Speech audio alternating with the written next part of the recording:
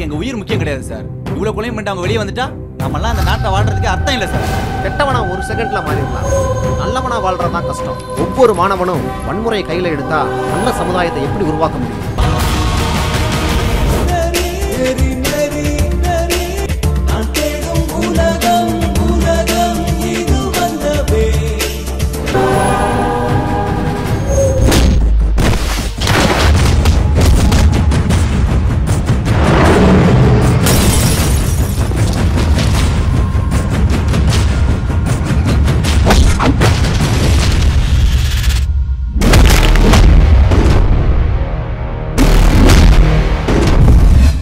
எல்லாம்.